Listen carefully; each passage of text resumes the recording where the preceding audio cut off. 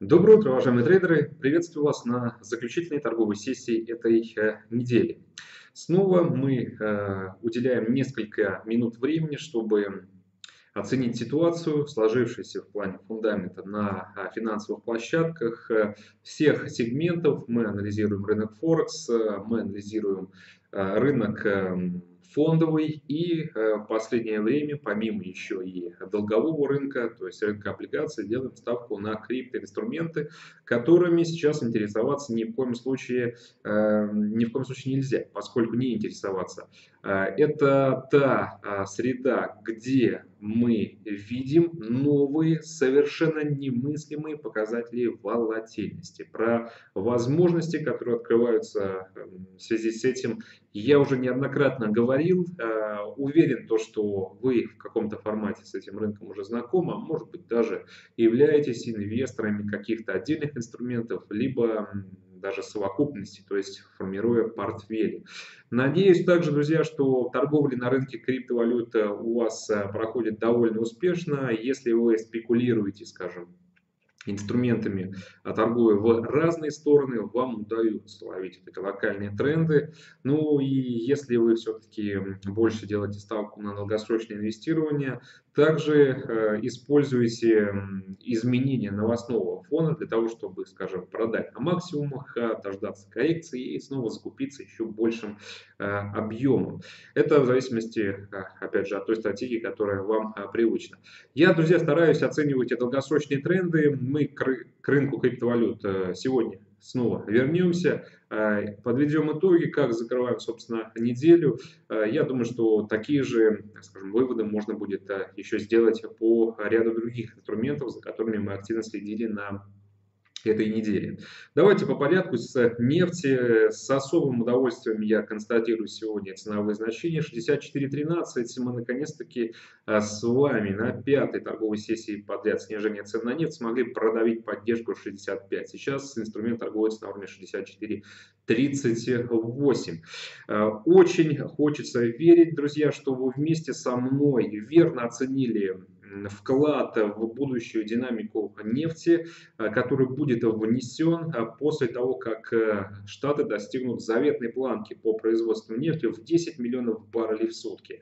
Мы говорили о том, что эта планка обязательно будет достигнута, говорили о том, что именно она может выступить вот этим самым механизмом разворотным, переломным для тренда, когда, возможно, в игру подключится необходимое количество трейдеров и продавцов, э, способных э, зародить уже новые тенденции. В данном случае для рынка нефти это, безусловно, снижение.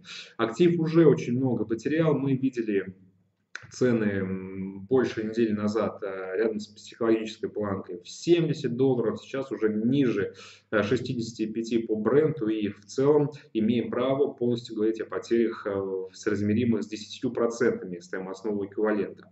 Рынок продолжает резонировать от последнего отчета администрации аналитической информации, собственно, по запасам и объему добычи нефти. Запасы выросли, это позитивный момент и фактор поддержки для коротких позиций, потому что все-таки рост запасов, а, он доказывает действительно тот факт, что ряд крупнейших нефтеперерабатывающих заводов США ну, сейчас э, находится в а, статусе сезонного технического обслуживания. Значит, мы будем работать, скорее всего, с плюсовой статистикой еще какое-то время. Хорошо. Но помимо этого, еще более серьезное влияние на рынок оказала статистика по росту недельного объема добычи. И в целом это был не просто рядовой, тривиальный прирост, исходя из тех тенденций и трендов, которые сложились. Нет, у нас рост на 332 тысячи до 10-25. И мы сейчас можем говорить об исторических показателях э, добычи э, черного золота за все время существования нефтяного, нефтяной промышленности Соединенных Штатов Америки. Друзья, какой вывод из этого нужно сделать? Э, самое, наверное, правильное сейчас – это признать тот факт, что очень многие недооценивали Соединенные Штаты Америки. И, возможно, недооценивали даже сами представители ближневосточного картеля. То, что сейчас э, э, уже они начинают бить панику, доказывает и решение. Я думаю, что это решение для нас, э, трейдеров, которые следят за новостными событиями, фактически, скажем, со знаком молнии. То есть это супер новостной повод, который мы должны сейчас с вами закладывать в основу сохранения сохранения нисходящей динамики.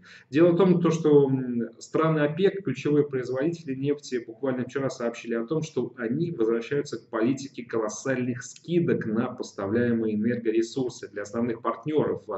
Эм, ну, собственно, том материале, с которым я знакомился по этим скидкам, э, были отмечены, собственно, какие скидки, для каких партнеров, насколько там для легких сортов нефти, для а, тяжелых. Это так, ну, я считаю, что сейчас выдаваться в подробности по цифрам, наверное, не суть важно, и они, возможно, будут меняться. Самое главное то, что ОПЕК э, возможно, сейчас в первый раз за длительное время осознал а, тот факт, что они на грани того, чтобы потерять своих основных потребителей.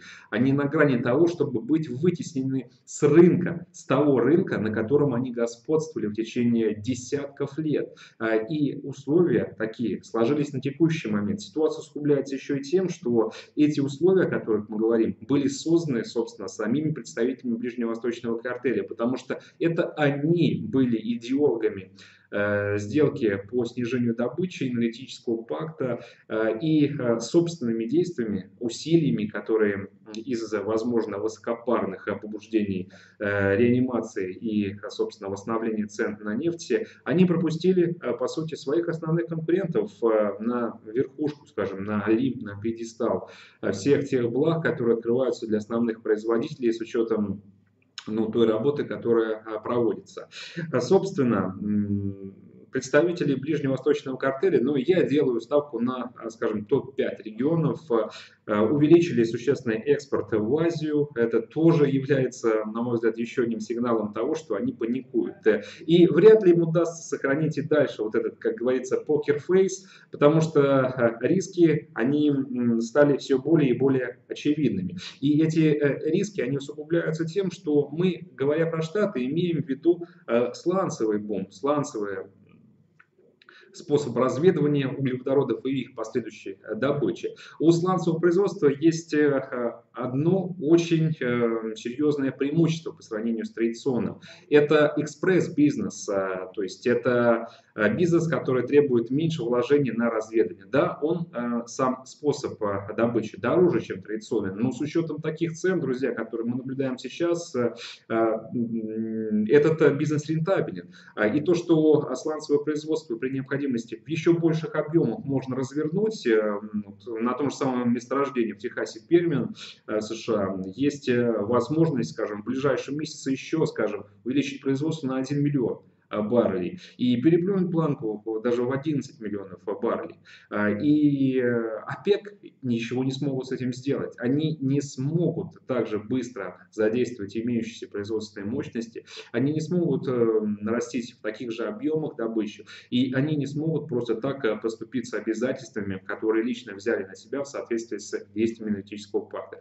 Как ни крути, друзья, но с учетом планки в 10-25 миллиона баррелей в сутки по производству нефти. Мы с вами не просто констатируем тот факт, что в Штатах теперь добываются рекордные показатели за все время, а, но и Соединенные Штаты Америки тем самым обогнали Саудовскую Аравию и вплотную приблизились к России. То есть Штаты сейчас находятся на втором месте по а, производству. И при сохранении текущих темпов, а, возможно, даже Россию им удастся а, потеснить вот с этого Олимпа первенства.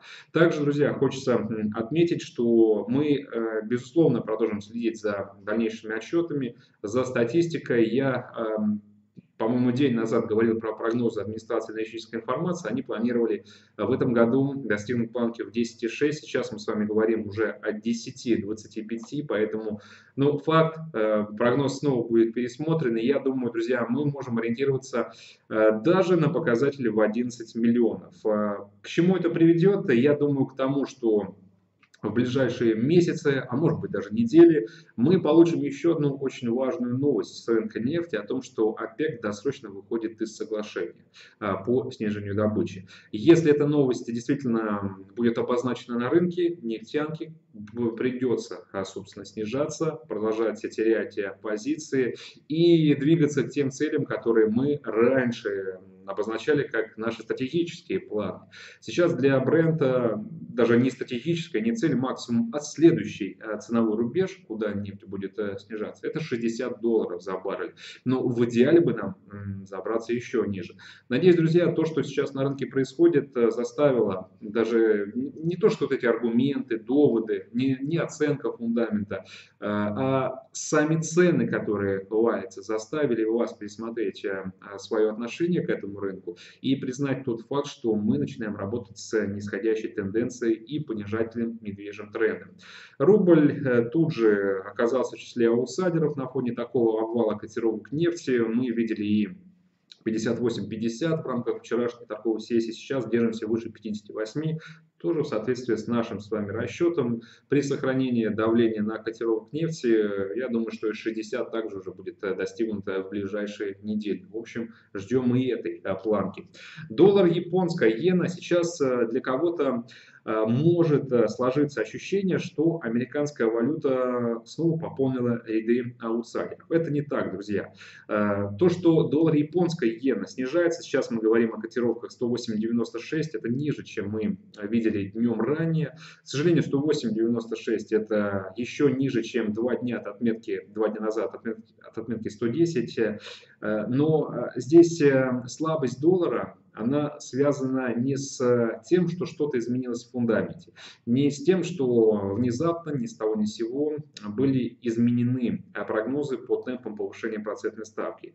Э, единственная причина, по которой в данном случае, в данном тандеме валютных пар э, снижается доллар, это рост японской валюты. Я думаю, что те из вас, кто следит за фундаментом, ну и скажем, видит параллели, делает правильные выводы, исходя из э, оценки ценовой динамики на разных секторах э, финансовых рынков, понимают, с чем это связано.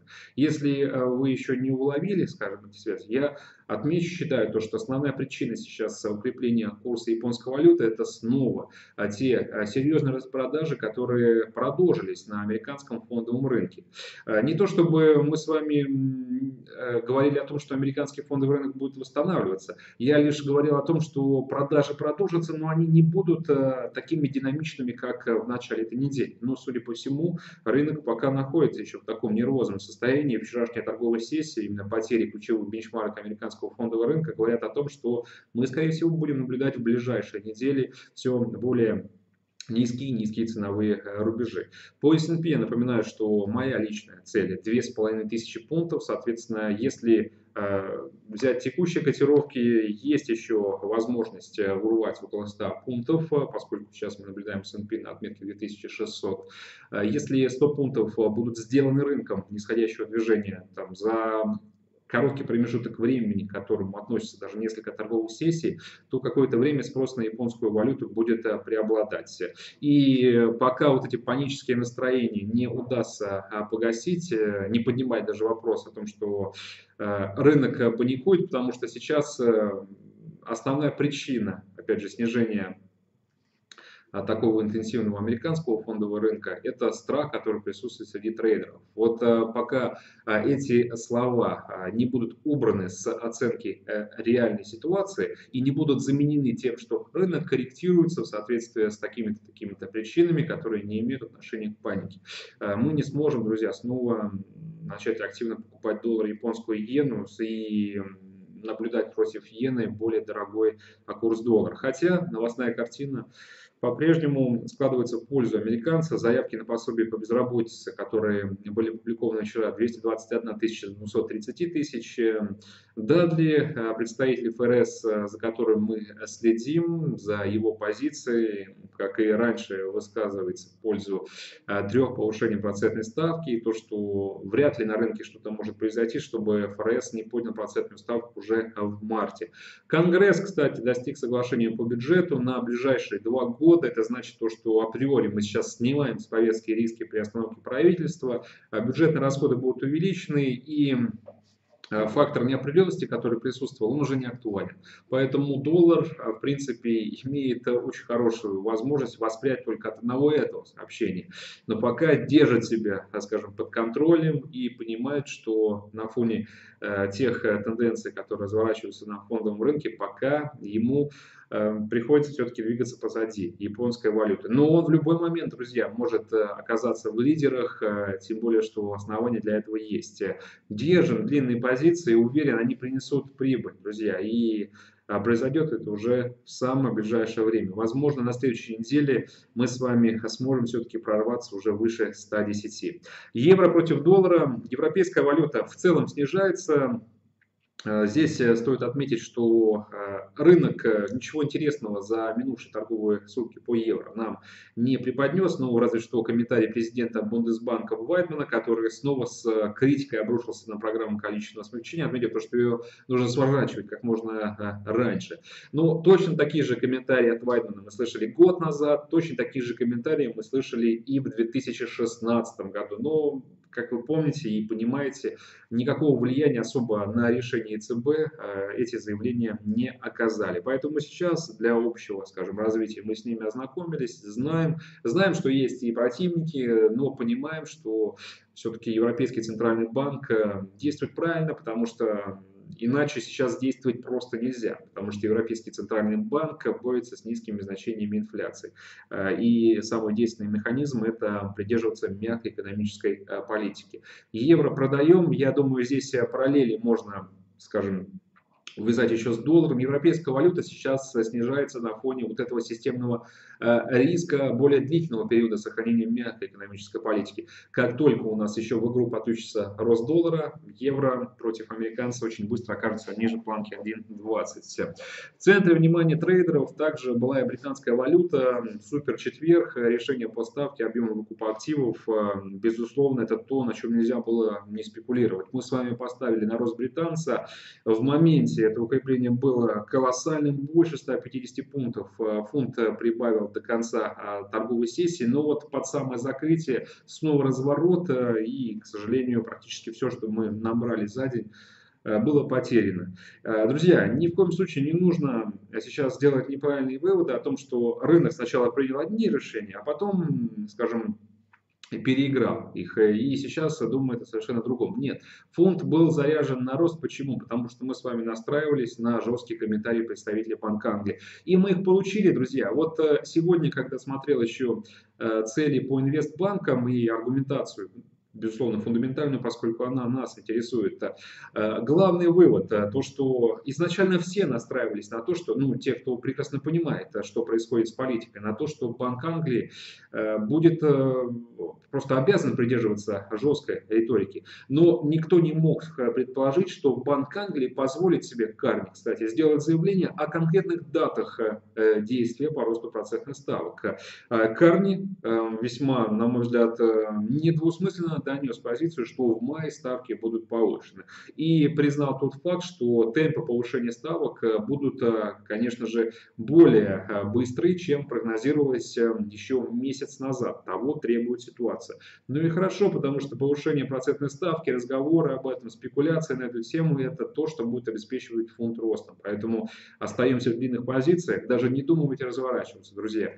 Сейчас эм, прекрасные возможности для того, чтобы прокатиться на потенциально еще мощном ралли фунта. И вчерашняя торговая сессия вам ясно доказала то, что фунт а, может прибавить несколько фигур за только один лишь торговый день. И это будет абсолютно предсказуемо и оправданно. По австралийцу также мы с вами очень много говорили. Я озвучил позицию Резервного банка Австралии, те проблемы, на которые был э, сделан наибольший акцент, закредитованность, э, низкая инфляция, угроза более высокого обменного курса для экономического восстановления. Э, и, собственно, на этом фоне мы сделали с вами вывод о том, что Резервный банк Австралии крайне далек от изменения риторики, о том, что скорее всего, он так и останется привержен мягкой экономической политике. И вчера у нас э, была возможность послушать еще руководителя Резервного банка Австралии Филиппа Лови, который, собственно, резюмировал все прошлые эм, заявления, которые сопровождали решение по процентной ставке. И Филипп Лоу признал тот факт, э, еще раз э, обозначил основную идею, то, что нет причин сейчас пересматривать денежно-кредитную политику. То есть она так и будет оставаться мягкой. Соответственно, все это делается для того, чтобы сейчас ослабить курс австралийца текущие э, котировки 0.7781, друзья, напоминаю, что наша с вами цель лежит в диапазоне 0.75-0.76. Сегодня очень важный день для канадцев, потому что в 16.30 у нас целый блок статистики по рынку труда Канады. Э, посмотрите на прогнозы, мы ожидаем довольно слабые цифры, даже уровень безработицы должен вырасти с 5,7% э, собственно, до 5,8. Я думаю, что если статистика будет в конве с ожиданиями, то есть действительно такой же а, плохой, как прогнозируется, то у канадцев сегодня будет еще одна причина просесть против доллара. В целом мы сейчас USD наблюдаем выше а, тех уровней, на которых торговались день назад. Доллар канадец активно восстанавливается. Сейчас котировки 1.26, наша с вами цель 1.27, 1.28. Собственно, вчера, выступая на пресс-конференции руководство, по-моему, Каролины Вилкинс, это заместитель эм, управляющего банка Канады, то есть Стивена Полза, э, снова говорила о проблематике крайней закредитованности и высокого долга домохозяйства, экономики. Э, друзья, я даже не знаю, как э, сопроводить такие комментарии, потому что они совершенно не вяжутся с тем, что делает Банк Канады. Они говорят про закредитованность и при этом поднимают процентные ставки. Ну, не знаю, где здесь логика. И ну, надеюсь только на то, что она будет найдена позже. Ну или, по крайней мере, надеюсь на то, что сам Банк Канады э, все-таки возьмет паузу и закончит уже каждый квартал поднимать процентные ставки. Не знаю, чего они добиваются и э, что делают. Поэтому, рассчитывая на более здравую позицию канадского регулятора, я считаю, что скажем, вот этого здравомыслия прибавит плохая статистика, я продолжаю продавать канадцы и рекомендую вам делать то же самое. Что касается рынка криптовалют, эм, локально на некоторое время рынок немного воспрял, вы видели то, что ряд основных инструментов, э, да можно сказать даже вся крипта, отыграла от 15 до 20% процентов утраченной ранее стоимости. Здесь э, лишь э, стоит добавить следующее. Друзья, мы по-прежнему говорим о медвежьем рынке. И не обращайте внимания на локальные откаты, как на э, то, что может развернуть тренд. Не при текущем фундаменте, не при э, текущей обстановке, которая касается регуляции. Когда регуляторы основных площадок для криптоиндустрии продолжают закручивать гайки. Нет, на таком фоне рынок не сможет э, снова вернуться к прежнему максимуму. Поэтому небольшая коррекция, в данном случае от нисходящего тренда, это лишь э, доказывает то, что мы имеем дело с нормальным трендом, который периодически э, встречает сопротивление, в данном случае покупателей, но потом снова инициатива приходит к продавцам. Э, из позитивных новостей, ну, э, как я уже отметил э, вчера, мы говорили о том, что руководители председатели комиссии по торговле товарными фьючерсами, комиссии по ценным бумагам высказались позитивно касательно будущего рынка криптовалют, лишь подчеркнув, что требуется это сфера крайне продуманной регуляции. Эм, рассчитывали, что комментарии будут такими же жесткими, как у прочих, э, скажем, регуляторов, но они оказались э, гораздо мягче. Э, здесь стоит отметить то, что Кристофер Жан-Карло, который является руководителем комиссии по торговле товарными фьючерсами, несколько, по-моему, не назову точную дату, но, скажем так, в прошлом году я помню, я видел статью, где Кристофер, опять Жан Карло, значился как один из э, серьезных э, инвесторов именно э, биткоин-системы, то есть у него было довольно большое количество биткоинов, возможно, от них избавился, может быть, нет, но, в общем, он такой элитный представитель инвесторского биткоин-сообщества. Поэтому, если немножко, скажем, пораскинуть мозгами, то становится очевидно, что человек, который может влиять на то, что с этим рынком происходит, вряд ли бы придерживался какой-то другой позиции, кроме как петь дифирамб этому рынку. Я не представляю себе, что, будучи владельцем биткоина, он бы поставил поставил крест на этой индустрии и сказал бы, что у нее нет будущего. То есть, на мой взгляд, абсолютно такой логичный, оправданный и ну, в принципе, тот вывод, который имеет право на жизнь. А, поэтому не думаю, что вот эти комментарии могут быть э, разворотами для того тренда и смогут вернуть на рынок прежних покупателей.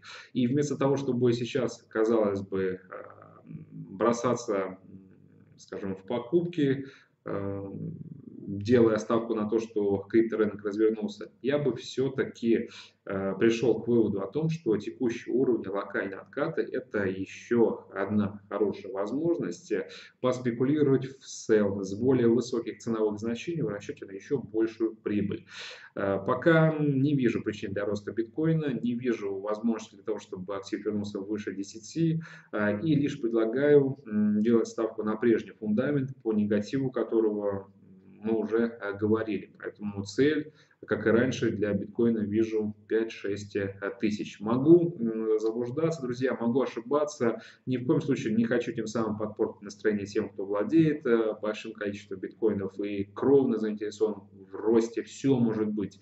Но будучи, скажем так, объективным фундаменталистом, считаю, что рано пока говорить о возрождении рынка криптовалют. Из важных событий сегодня в 12.30 ждем статистику по промпроизводству. Англии. В этих данных будем искать э, снова возможность для откупа британца и закрепления выше отметки 1.40. 16.30 это уровень безработицы Канады. Продаем в связи с этим канадские доллары. В 21.00 статистика Baker Hughes по количеству нефтяных терминалов, которая может э, э, поспособствовать тому, чтобы мы завершили неделю по бренду ниже отметки 63 доллара за баррель. Собственно, на этом все. Большое всем спасибо за внимание. Всего доброго. До свидания.